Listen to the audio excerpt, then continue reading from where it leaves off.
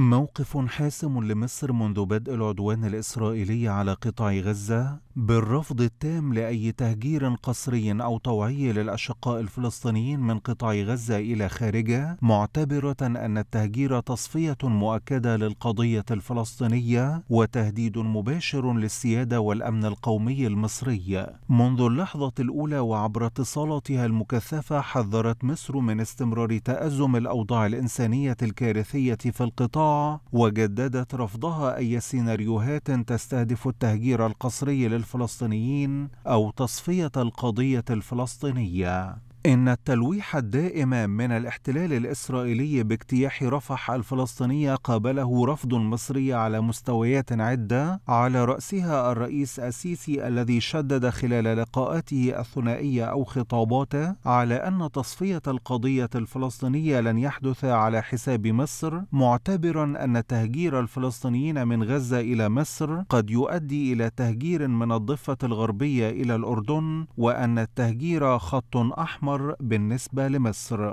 ورغم كل تلك المحاولات السابقة والحالية من الاحتلال الإسرائيلي بالضغط بورقة رفح الفلسطينية لم تأل مصر جهدا في فتح معبر رفح البري إذ أكدت فتحه منذ اليوم الأول أمام الجرحى والمرضى الفلسطينيين بالإضافة إلى إدخال آلاف الأطنان من المساعدات الإنسانية والإغاثية إلى القطاع رغم القصف غير المنقطع من الجانب الإسرائيلي.